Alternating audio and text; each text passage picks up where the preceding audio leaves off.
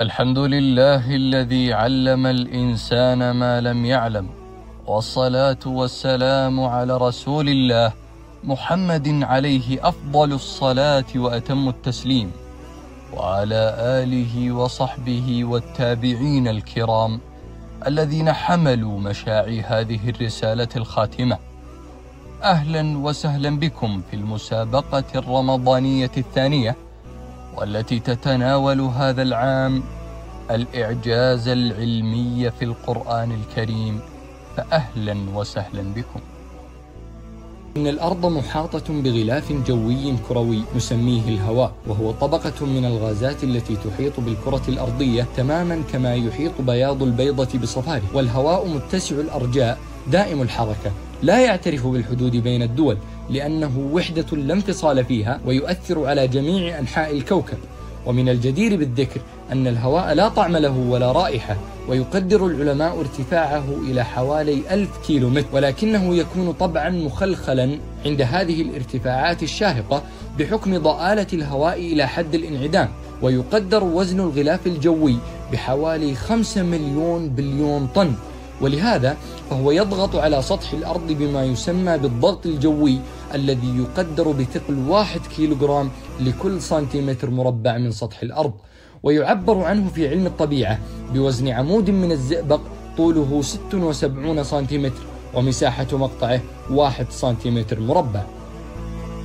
وقد تندهش إذا علمت أن ما يخص رأسك وأكتافك من هذا الضغط قد يفوق وزن سيارة صغيرة ولولا التوازن بين الضغط الجوي داخل أجسامنا مع الضغط الجوي خارجها لشعرنا بهذا الضغط الهائل ولأصبحنا في مستوى سطح الأرض منبطحين لا نستطيع تحركا ويقل الضغط الجوي كلما صعدنا إلى السماء حيث ينخفض إلى نصف قيمته إذا صعدنا إلى ارتفاع ثلاثة أميال ونصف.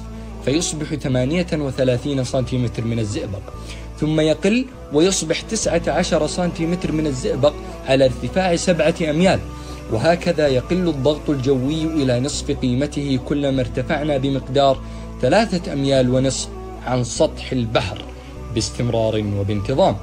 وبذلك ينعدم الضغط الجوي تقريبا طبقا لهذه القاعدة ويصل إلى واحد في المئة من قيمته الأصلية على ارتفاع 18 ميلا. أي ما يعادل 29 كيلومتر.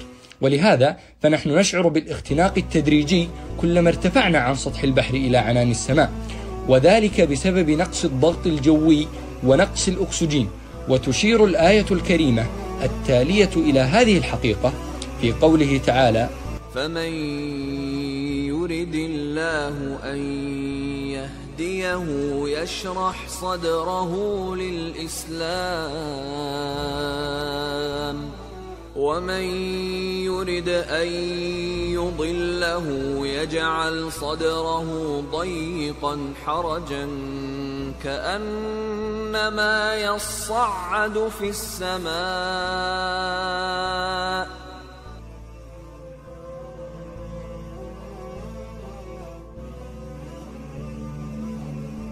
أن الإنسان يمكن أن يختنق عندما يرتفع إلى عشرة كيلومترات إذا لم يكن محاطا بغرفة أو حلة مكيفة الضغط والهواء.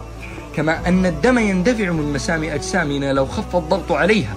ولهذا يستخدم رواد الفضاء بدلة مكيفة الضغط وأنبوبة أكسجين للتنفس. سؤال حلقتنا لهذا اليوم. يعبر عن الضغط الجوي بوزن عمود من. أولا الزئبق وطوله 76 سنتيمتر ومساحة مقطعه 1 سنتيمتر مربع. ثانيا من الماء وطوله 670 ملم ومساحة مقطعه 1 سنتيمتر مربع. ثالثا من الهواء وطوله 10 أمتار ومساحة مقطعه 1 متر مربع. رابعا من الزيت وطوله 30 سنتيمتر ومساحة مقطعه 1 متر مربع.